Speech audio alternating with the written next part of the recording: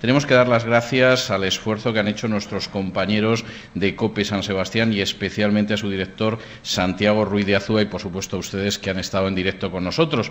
Y como esta es una tierra que, mal que les pese a muchos, es una tierra española y ha sido siempre una tierra española, vamos a terminar este programa de una manera muy especial. Les voy a pedir que se pongan en pie porque vamos a escuchar el himno nacional.